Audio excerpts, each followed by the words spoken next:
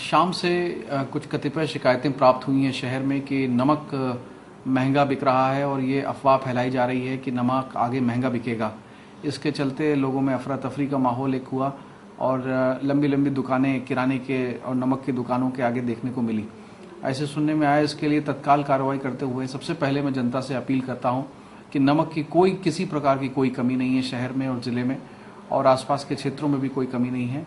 नमक अपने निर्धारित मूल्य पे ही बिकेगा और निर्धारित मूल्य से एक पैसा भी अधिक में नहीं बिकना चाहिए।